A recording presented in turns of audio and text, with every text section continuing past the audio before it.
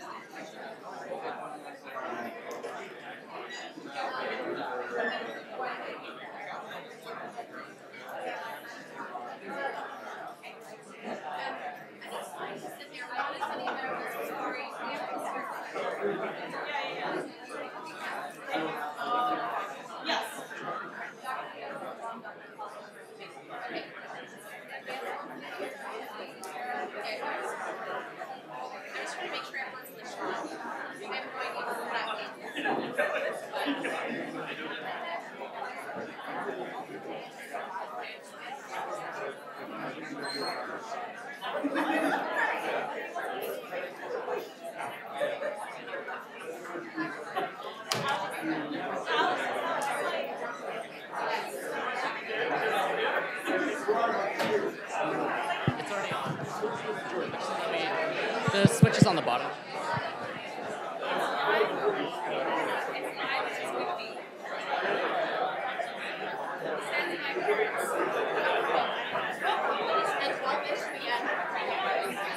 We'll be starting in about two minutes.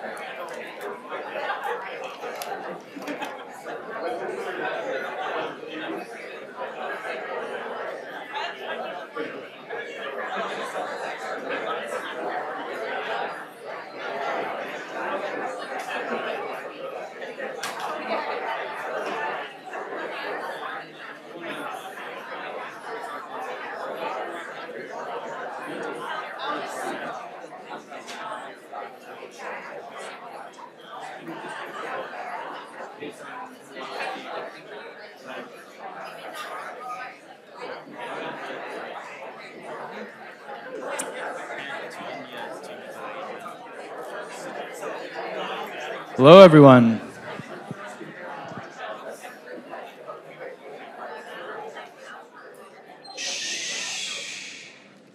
So, we uh, have finished the official morning panels.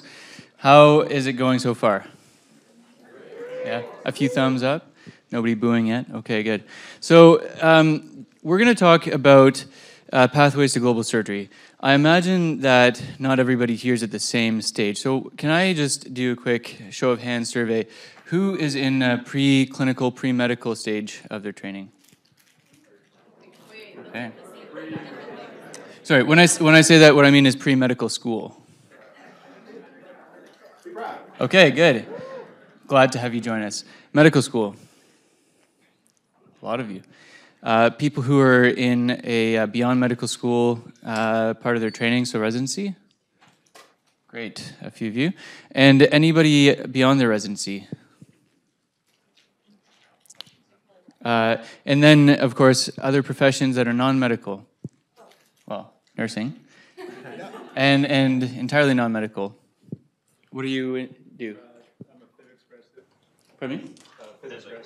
Excellent, physics grad student. So there's lots of ways that people can be involved in this uh, big effort that we're calling global surgery, and um, not everybody's going to have the same uh, pathway. Not everybody's going to have the same response, level of involvement, type of involvement. So um, ask the questions that you think pertain to you, and our speakers will respond um, from their experience. Uh, we have. Um, a variety of training as well in our panel here. So I'll just let the speakers introduce themselves and share maybe a couple uh, points of information about uh, what their background is that got them into global surgery and um, where they are now. I'm Andrew. I should probably have mentioned. I'm Andrew Giles. I'm a uh, I'm a general surgery resident uh, training at McMaster University and completing my MPH at uh, the Harvard Chan School of Health, Public Health here this year. And I got into uh, global surgery, I think, uh, largely because of uh, my background. My parents were both raised internationally, and so I've always had a bit of that perspective and thinking about what I wanted to do with my life. Uh, it was evident that it was going to be medical and then became surgical, and a lot of those formative experiences were uh, in uh, international settings like Angola, which will probably come up once or twice. Um, and a lot of my mentors have been in this field, uh, and I can see the, the great value in it, and that's why I pursued it. Do you want me to start? Yeah. I'm Bruce Steffes. I'm a general uh, surgeon, uh, inten- intensivist who was in private practice and quit my, it's on, I think, I can hear it. Okay. Okay.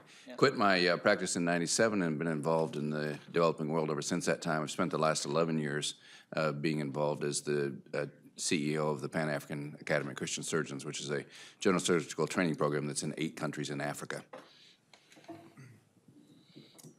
I'm Robert Riviello. Um, I'm a, a general acute care surgeon at Brigham Women's Hospital that split, I split my time between uh, Boston and, and Rwanda largely.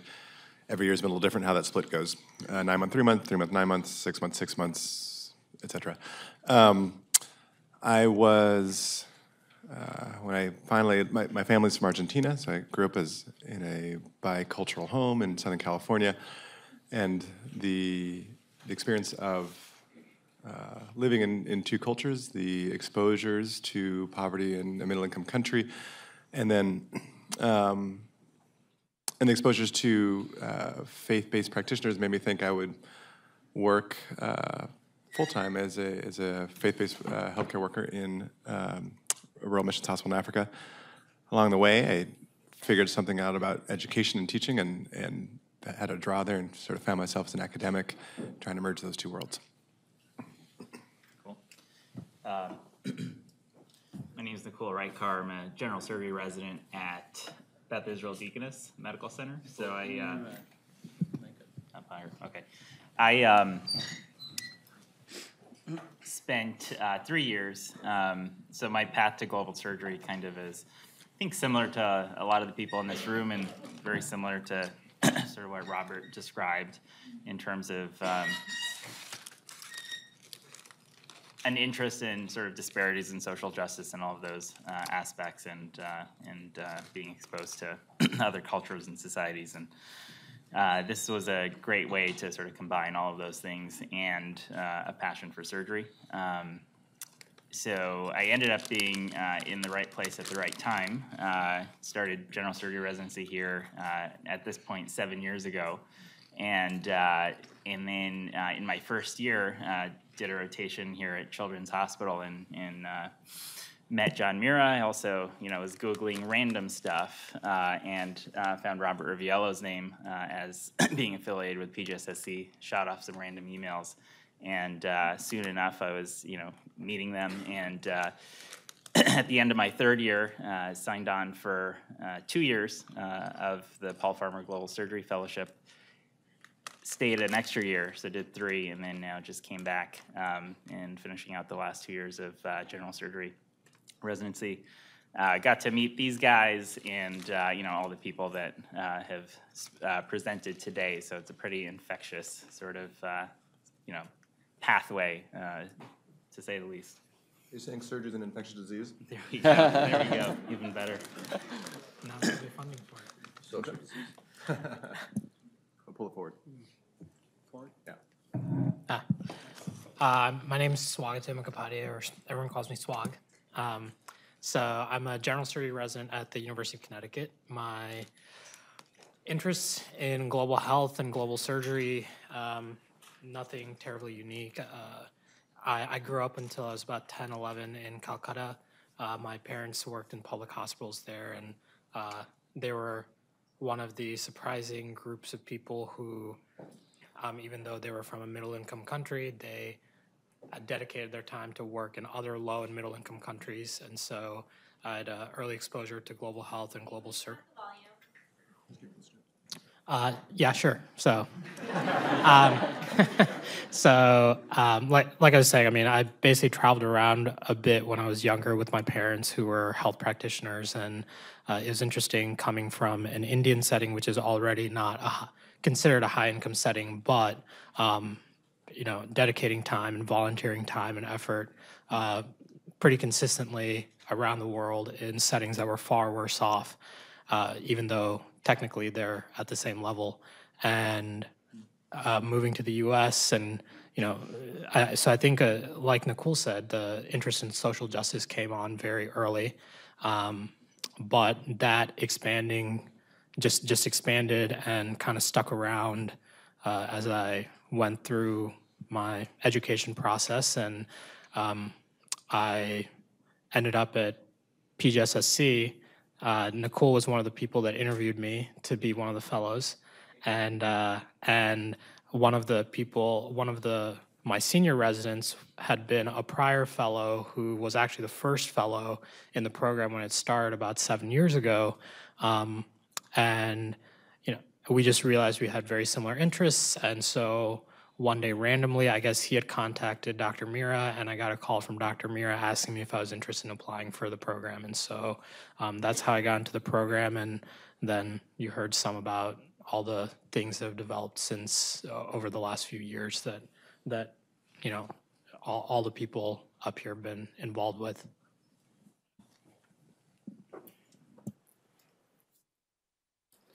Great. So uh, we'll open it up to the audience. Uh, any questions that you'd have? And just so you know, for the purposes of the uh, the streaming and the recording, I'm going to be repeating uh, your question on the mic.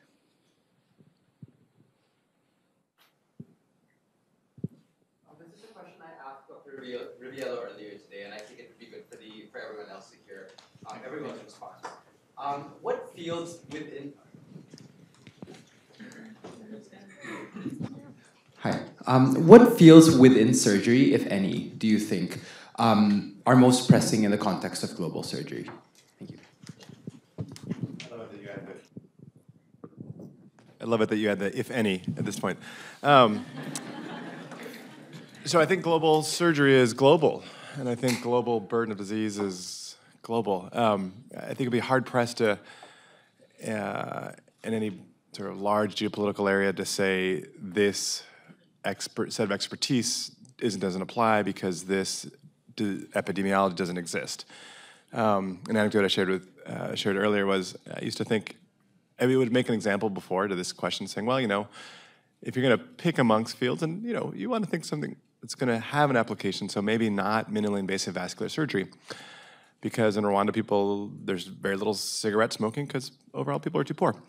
Um, and by the way, we just don't have vascular disease. Well, it turns out we do have vascular disease, and when you start doing a lot of bilateral above knee amputations in middle-aged uh, women with your residents, and, now that you can actually do some imaging and realize they have bilateral, not occlusive disease, but bilaterally occluded iliac arteries, that's a vascular disease burden. Um, you may not, they're not going to be set up for a minimally invasive piece of that anytime soon. Um, so I think uh, there is, you know, we've heard this several times now. There is an overwhelming uh, epidemiology around the world that requires uh, expertise in surgical delivery, all aspects of it, the anesthesia, the surgery, et cetera. Um, so, uh, you know, almost by virtue, not by virtue of sitting in here, but the fact that you're sitting here uh, most likely means that you have, uh, regardless of where you started from, you have enormous range of possibilities ahead of you.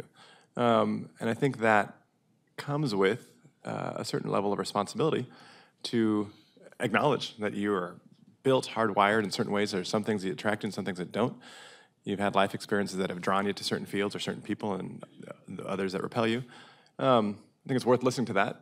If uh, this is a, a long-term endeavor, right? Uh, those of you in the in the education panel heard Dr. Steffes' talk about sacrifice and long-term commitment. Um, I was referencing Farmer's quote in Mountains Beyond Mountains, quoting from J.R.R. Tolkien, speaking of Galadriel, the Queen of the Elves. This is, they're fighting the long fight. Um, and this is the elves fighting over ages against the forces of darkness or injustice. Um, this is fighting, fighting a long fight. So find something that you find a set of tools that you enjoy working with. Um, renal transplant. That seems really not useful. Oh, turns out there's a renal transplant program in Rwanda now because there's a huge chronic kidney disease burden because we have a big hypertensive burden. Um, so I think you have uh, a set of opportunities ahead of you and you have things that draw you and, and listen to that. I would like to just add to that. I think just go ahead and get trained in general surgery with a component of thoracic, vascular, ENT, head and neck, uh, urology. yeah, urology, OBGYN, and so forth, and then you'll be qualified. Uh, the, the reality is you're never going to be qualified uh, if you're going to go to the rural areas because you're just, you're literally going to be skinning its contents. I think uh, what uh, What's your name again? Bob. Bob, uh, what Dr. Riviello has, um, has mentioned is true, is it's your passion, whatever that is. And, and admit, realize though that any decision has some consequences. If you're going to say that you're going to only specialize in the left kidney transplant, you know, there's going to be a limited number of places where that's going to be uh, possible. But by definition, you will be gaining skills the rest of your life because you won't have sufficient numbers. Yeah, I think you can add to that general surgery training anesthesiology as well. Yes, exactly. Yeah. So a lot of you mentioned. Yeah, just one second, I'll bring the mic up. Better for his exercise too.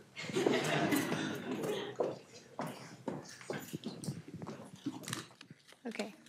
A lot of you mentioned um, that you sometimes have a hard time finding funding, or you know, it's not global surgery or even just global um, medical careers are hard to come by for financial support. So I was just wondering how you make your careers in global surgery sustainable, um, whether that be financially or just with family, um, all that good stuff. Like, how do you actually make this happen on a day to day basis? Because it sounds like you're living the dream, but I just want to know how you made it happen. For us, For Nicole and I, it's pretty easy. Our, our residency subsidizes, us, so I think that's more relevant for, for you guys. There's also the advice that how do you make a small fortune? You start with a big one. So being independently wealthy is, is a really good place to start. Seriously, I, I, this is kind of part of extension of what I was saying in the other group. Uh, it's a sacrifice. Um, You're going to have to negotiate with your employers to be gone for three and four and five months, and I promise you, they're not gonna pay you while you're gone. Uh, You're going to have to, you know, make uh, decisions about uh, how you swap that. Now, exactly what that looks like, uh, universities are increasingly, because global surgery is sexy, uh, they want you to be involved with it, but of course, that means they're not gonna hire you unless you actually have the experience. So you had to somehow figure out how you can have the experience. Uh, part of the issue, honestly, is you can't come out of medical school owing three hundred and four hundred and five hundred thousand dollars because, you know, so that, that kind of cultural, countercultural lifestyle has to start relatively early because otherwise, uh, the people who've loaned you the money aren't gonna let you go. So that's part of the issue. Uh, but it's, it's a matter of trying to figure out some situation where, um, it will, it'll affect your career, there's no question about it. Uh, it may build it, but it'll take twenty years to do that. Uh, but nobody's ever gonna pay you for that. You just get to go to conferences and like, uh, we saw this morning, fancy rooms at Bellagio perhaps. Uh, but, uh, it's, it's something that you're gonna have to work on. Now, one of the things that actually works reasonably well is to consider working for the VA. Because especially if there's an academic appointment there, you get to keep your academic piece, but they're used to paying people in eighths, you know, and so they, you might work for a VA for five eighths or something, or a half, uh, full-time equivalent, and that'll give you the time and the ability in a system that will permit you to then leave and come back and, and go back and forth as you go, so that's a real option. Occasionally, if you're lucky, you'll get in private practice with two or three people who feel the way you do, but that doesn't happen real often. And I think, um, similar to the VA piece, you know, you, you're negotiating how much you're gonna get paid for. Um, I'm not supposed to say this, I- it's in my contract, I'm not supposed to talk about this, so when I signed my contract at Brigham, um, and they paid me three quarters of a starting salary. Um, you didn't hear that here, and it's not recorded. Um, but for the same reasons that you would do in a private practice. I'm gonna be here for nine months, so we'll get nine months worth of salary. The, the stuff I did over there, it was probably my fifth year here when people stopped asking me how my vacation was when I got back from Rwanda. Um, so it, it uh, actually, there's a slide that was in Dr. Steffes' uh, slide deck that the organizers of the, of the conference cut for him, um, which I'm going to reference. Um, and so there's, it asks about if you're, I think it's interested versus committed. Yeah, it- it's, yeah. It's, uh, it's about a Midwestern breakfast and the pig and the, and the chicken. The chicken is interested, the pig is committed. And so I think that's really what you have to make that decision for yourself as well. I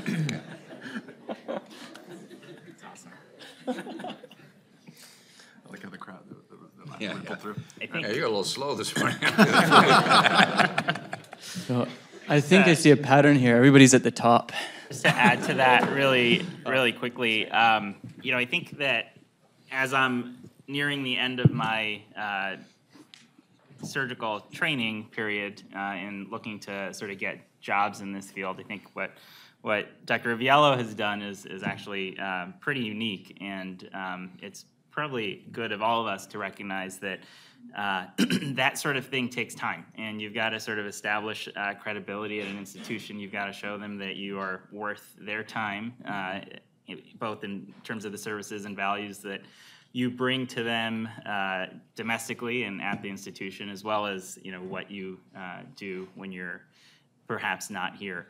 Um, but there, on the bright side, you know, I think that's true of anybody going into any academic career. Um, when you are starting a research career, you know, you're not gonna, you may have gotten a PhD in medical school or during residency or whatever it is, but when you start that first academic job as a junior attending surgeon, you know, nobody's gonna be throwing four research assistants at you in a lab and this and that. You know, you've got to you've got to build that. You've got to apply to those grants, and you've got to sort of create that zone around yourself. And um, I think, fortunately, in that sphere, a lot has changed over the last five years, even uh, in terms of research funding available to these sorts of projects. Um, I remember trying to uh, secure funding for my, you know, my Paul Farmer Global Surgery Fellowship, and it was it was very, very difficult. Um, you know, it just wasn't in the sort of funding stream of 99% of the places that I looked. Uh, that has changed. Uh, there are more and more places that are able to sort of you can you can sort of mold your application towards. And then I think we've, as a community, gotten much better at selling what we do uh, to organizations that are funders and uh, showing them this is just as relevant as X, Y, and Z and other things that they fund. And a lot of that, you know, it's uh, the onus is on us to sort of prove the worth of the work that we uh, that we are that we're doing.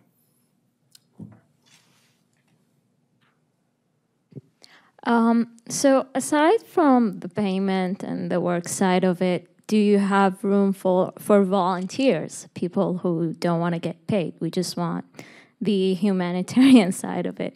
As uh, IMGs, we've done a lot of that where we graduated from.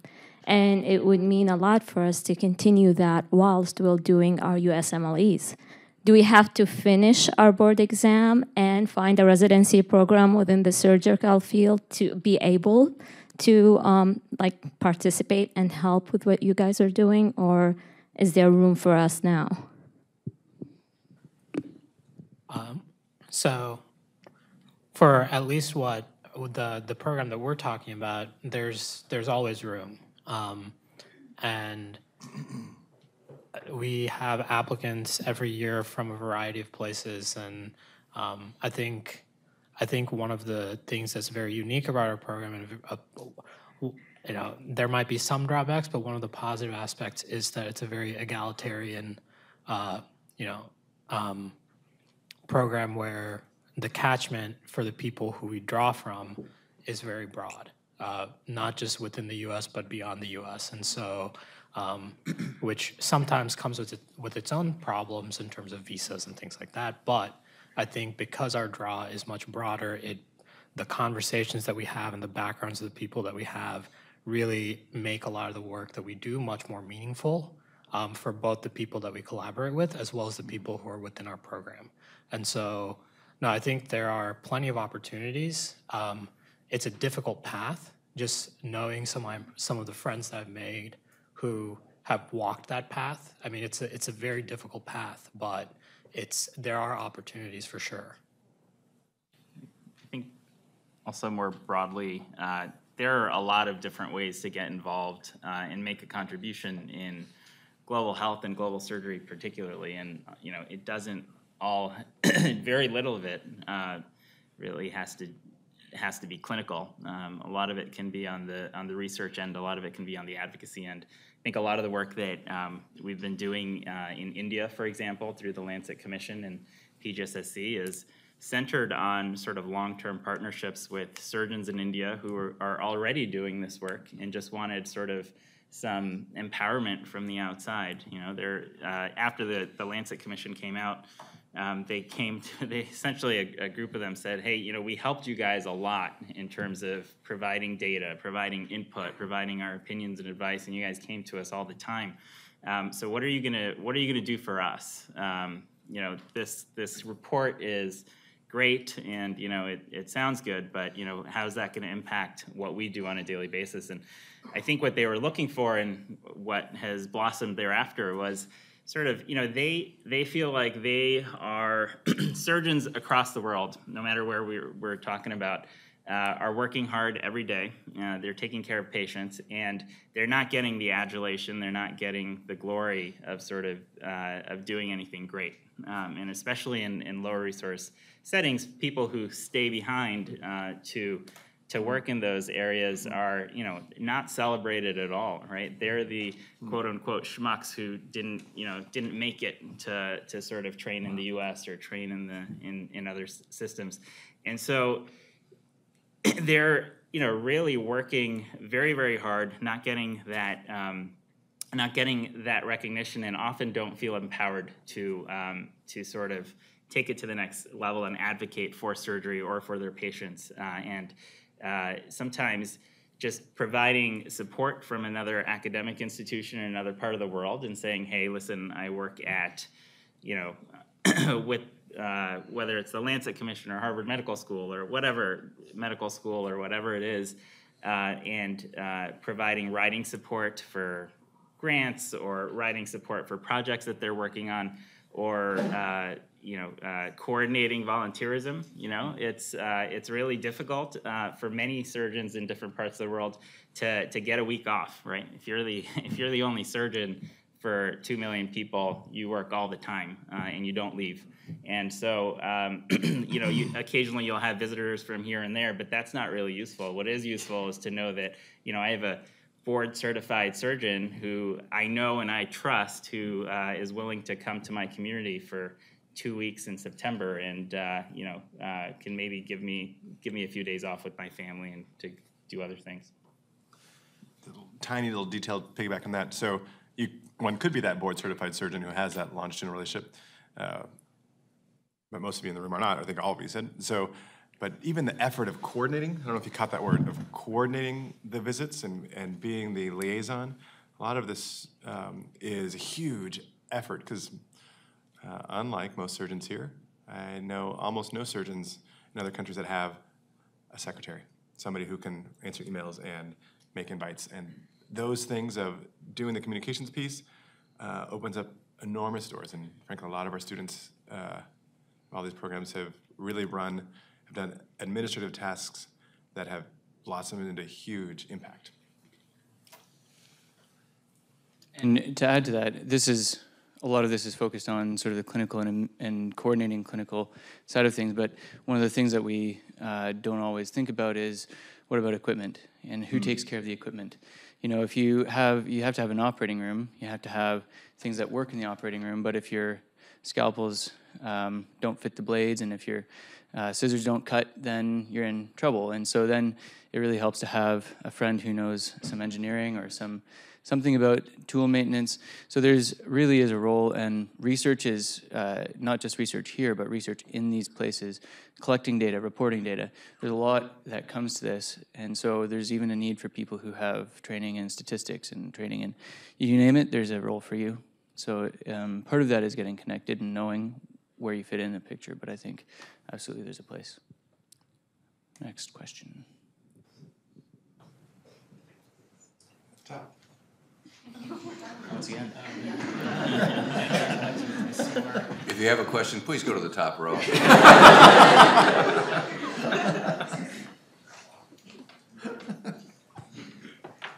So it's my understanding that the number of physicians that travel to each country doesn't necessarily reflect the need of that country for the number of surgeons that travel there.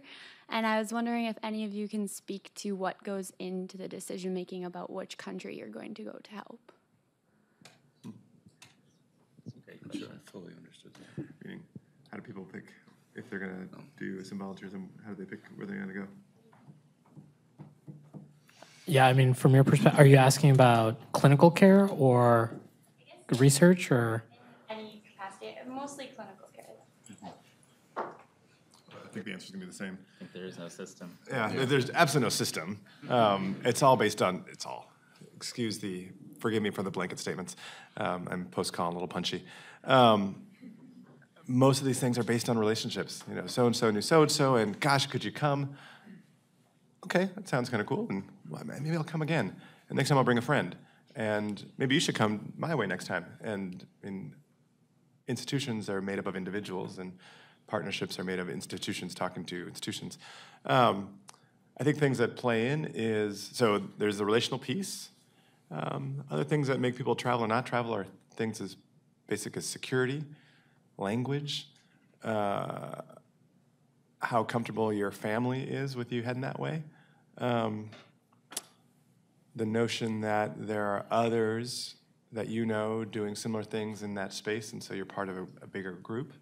I ended up in Rwanda because Brigham Women's Hospital already had deep ties to Rwanda through the internal medicine side and Partners in Health side, but there was no surgical component there. Um, so I think there's lots of things, and it's certainly not um, the, the the distribution of human workforce is not based on an equity agenda. I think one of the biggest uh, issues, both uh, Operation Giving Back with the American College of Surgeons and uh, some efforts now with COSEX and some other, they're trying to track that or or regulate it.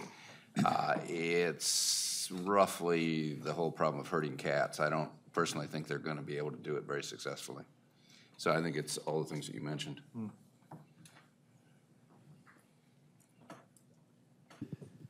What, um, what resources would there be? Say that you had no geographical or political preference. What resources would there be to make a determination about where best to go? How, how does one go about making a decision like that? I mean, I, I think that uh, kind of dovetailing off what Dr. Riviello said, um, you know, the first thing is you, you need to be, all things equal, you need to be wanted in that in that place, right? It's not so much as picking a place on the map and saying, oh, there's no surgeons there, I'm a surgeon, or there's no X there, you know, I can provide that service.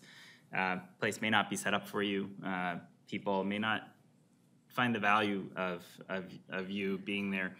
Um, I think, you know, the more you think about this, the, the more uh, it comes out of the woodworks in terms of unintended consequences of uh, foreign visitors uh, in low resource environments. I mean, it's the, the, it like stuff that I never could have imagined could be an issue, right? With two people working uh, together with really the best of intentions and just this plethora of things that spring up around you between sort of how locals perceive local care uh, when you're not there versus, uh, you know, just many things. So I think that there needs to be sort of a, a, a really important link is that there's got to be somebody who you know who says, there's a role for you. We really need you, and I want you to do this. And can you do this? Uh, and if you can, then it's it's worth uh, sort of going down that route. And where it's an institutional commitment, even better, right? Because generally, a lot of those kinks are worked out uh, at the institutional level, and you can sort of you can fit in there. But but I guess to the the point of everyone else is that you know many of the places in, in most need may not have uh, institutional commitments. They're likely not to have those. So.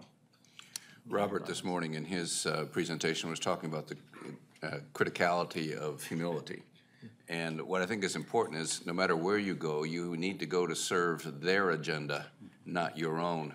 Uh, one of the big issues that you get into often we come and we're going to accomplish what we wish to accomplish, and because they're polite, they'll let you, uh, but you haven't accomplished anything. Uh, I, I remember when I was working in Uganda in 2005 at Mulago, uh, I was looking, uh, at that time, Indiana was one of the few places that, Indiana University was one of the few places that had a good program at Eldoret. And uh, so I was looking at it from a surgical standpoint, uh, you know, how did we put that up and how do we look at twinning? And that's when we first started talking about that uh, a decade or so ago.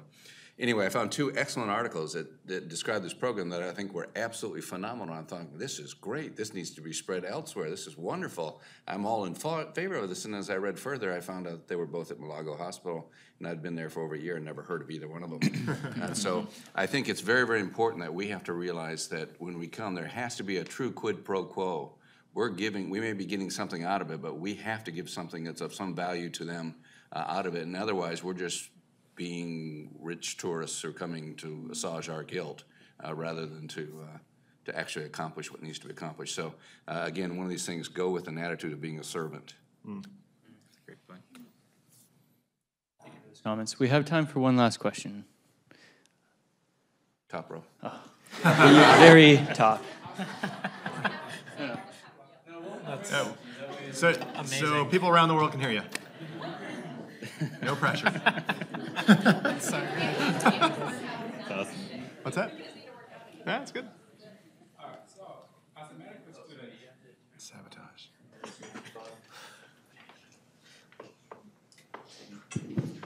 So, as a medical student, given the huge emphasis on basic um, science research, how do you present yourself if you have a passion for global health and global surgery? So you can still look sexy, you know, for residents.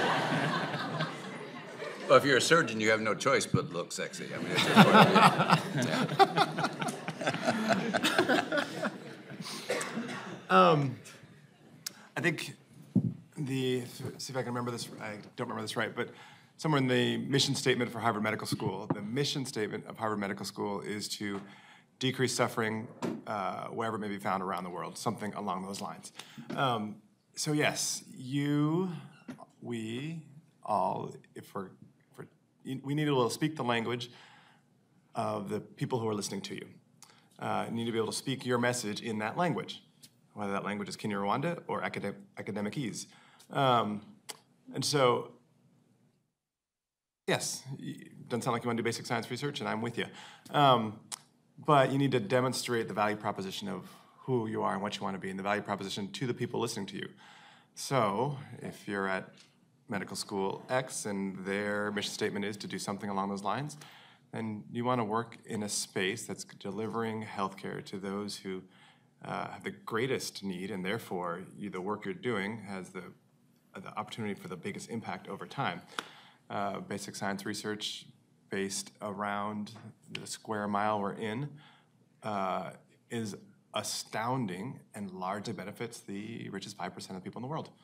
Uh, you're working, looking at the stuff that's maybe how do you get some of that stuff to the other 95%, or how do you create new knowledge that is contextually uh, going to impact the people in the other, pick a percent, percentile or decile. Um, I think that's the, the piece. You need to figure out, know that language. It's cross-cultural work, uh, being in academics. You got to understand academic-ese. Um, and be facile with that language with your own agenda. One of the things that's important is to realize that in some places, you're not going to be able to do the research component of it as much as just the teaching component of it. There are entire countries that do not have basic scientists of any sort. There's nobody in their medical school who can teach anatomy or physiology or any of those things. And so uh, just being able to go and share, even if you're doing your research on this side, if you go in there and just being able to, to teach a course so that they can come out of medical school or understand the rest of their medical school at, at a level that's acceptable is a big step forward. Uh, we were looking at, and, and, one of the things that we can do is we can perhaps um, do telemedicine kind of lectures or something like that. But the truth is that doesn't build any competency, except perhaps in the IT department. But it doesn't do anything for the for the physiology or the anatomy. And so I think it's one of those things where going there and working with people and helping build their competence so that they can, over a period of five, six, 10, 15 years, actually give those same lectures and then and and build up the expertise they need to make a difference in their own countries is critical. There are a lot of medical schools that that have no basic science except for whatever they pick up. And boy, is that obvious when it comes to uh, when we try to train at the next level.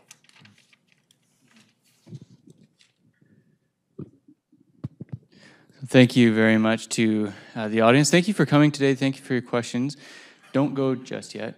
Uh, and thank you to our panelists um, for your insight. I'm going to turn it over now to Parissa for some final words. Actually, um, before I give my final words, um, part of the reason we have this organization is because we're collaborating with students everywhere. And so someone from Yale has something to share before I close.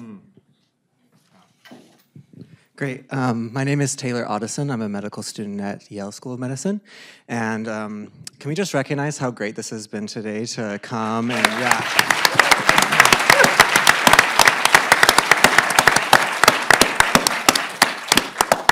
Takes a lot of effort and work to herd 100 or 200 people through all these different lectures and panels and get everything organized and feed us all. And if you've noticed, they've all been walking around and doing a lot of work, so we need to recognize them, and we're thankful for they, that they did all that. Um, I want to um, let you know that, as we said, networking and understanding and meeting other people who are interested in your field and getting mentors and doing things are very important as, uh, as in addition to learning about this. Yale will be holding a global surgery symposium at Yale on April 1st. So um, we will send out that information. Um, I'll forward it to her, or you can come talk to me afterwards. So if you'd like to continue to learn more about how you can get involved with global surgery and, and connect across various schools as well, we'd love to have you at Yale. Um, there is no registration cost, but we would like you to register quickly so we have an idea of the number of people so we can plan on different things. So, but again, this has been excellent, and we'd love to have you also come to Yale. Thank you.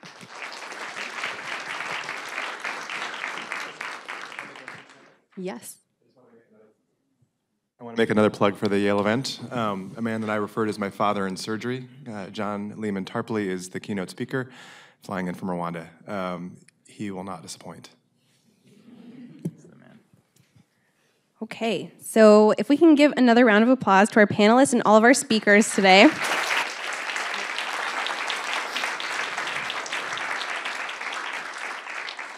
Um, they dedicated part of their Saturday, which for many is time with family, um, in order to be here to speak with and inspire you all. So thank you so much.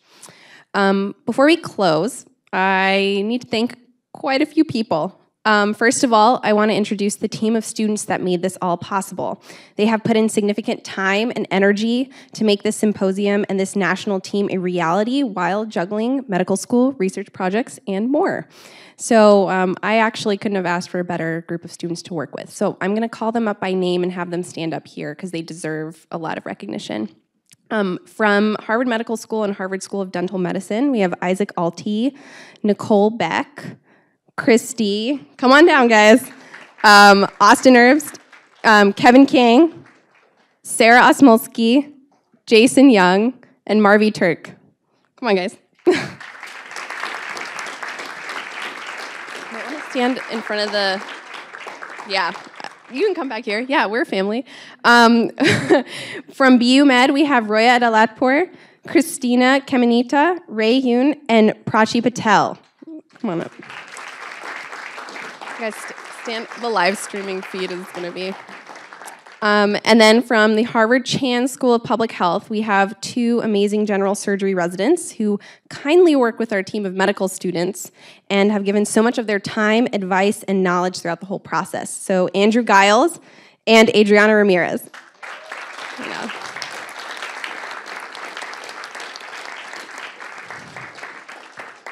Stand over here.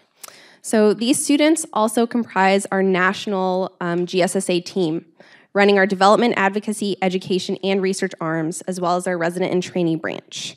So you can go to our website to learn more about them and see what role they play. And should you have any specific questions for them, their emails are also listed. Um, we would also like to give a huge thank you to the audiovisual communications team here at Harvard Med.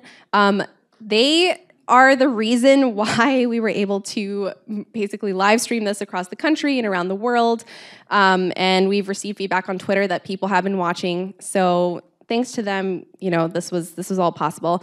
And by name, Jim Lowell, Harlan Reiniger, John Meltzer, Peter Outson, and Edward Wang. Um, give them a round of yeah.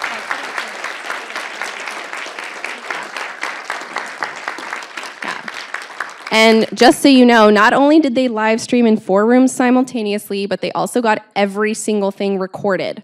So if you missed a panel and you heard from your friends here that you that you should have gone to that one, don't worry, you can watch them all, and we'll get those up as quickly as possible. Um, of course, um, these things cost a lot of money. and as a group of students, we did not have any money whatsoever. Um, some of us, I think, have invested a little bit of our own money. um, but financially, this would not have been possible without the Program for Global Surgery and Social Change here at Harvard, um, the Center for Surgery and Public Health at Brigham and Women's Hospital, the Department of Global Health and Social Medicine at Harvard Med, um, Dr. John Meara himself, actually, and the Boston Children's Hospital Plastic and Oral Surgery Department um, and then the Harvard Chan Student Surgery Society at the School of Public Health. Um, and a little side note, Paul Farmer and his wonderful research assistant, Katie Krelievitz, actually helped us secure some of these donations. So, um, huge thank you to them. We are always in need of donations. So, if anybody is listening, if you're willing to donate a little bit, we would absolutely love that. Um, so, we have a lot of amazing things planned for the future. Um, we already have like thoughts for a global anesthesia panel in the works. Um, we want to host workshops, um, host a symposium like this in the future. So donations always help. Thanks. Um, I did just send out an email to every single person here um, during this panel. We you did a survey at the beginning. Um, we now need you to do the post conference survey. If you can do that before you leave, you can just pull it up on your phones. Um, we're actually doing a research study on this symposium, and we're hoping that the results will show the importance of these kinds of efforts and help make them possible in the future. So if this is something you loved and you want to see more of it, please, please fill out the survey. We'd really appreciate it. Um, in fact, we actually plan to make this symposium an annual event, something that we hope can eventually grow into a larger conference for students around the country who want to learn more about global surgery and potentially present research while hearing from those who are already working in the field, like those here. Um, soon we'll be deciding where the next one will be held. It could be here in Boston, but it would actually be a lot more incredible if it was hosted in a different region of the country. So for those of you on the live stream, um, if you're listening to this and you feel a strong desire to host um, a symposium next year, let us know. I know there's some people in Texas watching. Uh, it'd be really cool if it was in Texas. Um, just a side note. So, as far as the Global Surgery Student Alliance, if you want to start a global surgery group or already have one at your school, please let us know. Um, since we started, since we launched everything back in, I think it was like the beginning of January, we've had about 15 schools already start the process of creating global surgery groups. Um, several have already finished that process and they're up on our site. Um, we're more than happy to list your school's global health group if that's where your global surgery work goes through. We're just trying to create a database of all of these efforts so that people know where to where to look. Um, in the coming months, we'll be developing tools to help students get their global surgery groups off the ground, and we'll be connecting students around the country so that we can collectively improve our efforts. Um, we will be making a database of all the school teams that are forming, um, also a database of global surgery contacts around the country, and hopefully a database of research projects and opportunities for students. So if you have any information you want us to share on your website, we're more than happy to do so. You can just send us an email. Um, we'd also love any articles, op eds, stories about global surgery from students to um, put on our website. And our hope is that we can be a resource for students around the country um, who want to be involved in global surgery and have ideas of how to contribute to the field. But it's going to take a collective effort from all of us to make that possible. Um, so, with that, the last few um, kind of sappy words that I have, because it's been a, it's been a fun um, four month process. Um, from the bottom of my heart and on behalf of this really incredible team, thank you all so much for coming. Um, we look forward to seeing the global surgery movement grow exponentially among students in the US. Um, and it's about time that we take on a more united front in our efforts by connecting to students around the world who will be our colleagues as we move forward in our careers. I think we as students have an incredible capacity to change any field we desire. We have unique ways of looking at the world's problems, and we have imaginative solutions that need to be tried. Global surgery has gotten far, but it can go a lot further with students championing those efforts. It is absolutely vital that we make our contributions to the field. And considering how many students came to and live streamed this entire symposium, I think the future of global surgery is pretty promising. Um, so I'd like to close with a quote. Um, Undoubtedly, it is within your power to contribute significantly to shaping the societies of the coming century. Youth can move the world. So, if you plan to go into surgery or any other field for that matter, I want you to always keep that quote in mind as you move forward in your careers. Because by working hard, following our passions, and collaborating with our friends and colleagues, we can truly make a difference in this world. Thank you.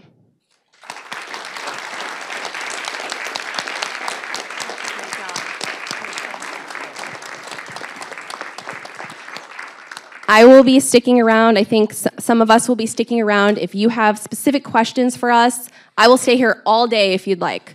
Um, would love to help out and talk to any of you that have been emailing us. So thank you.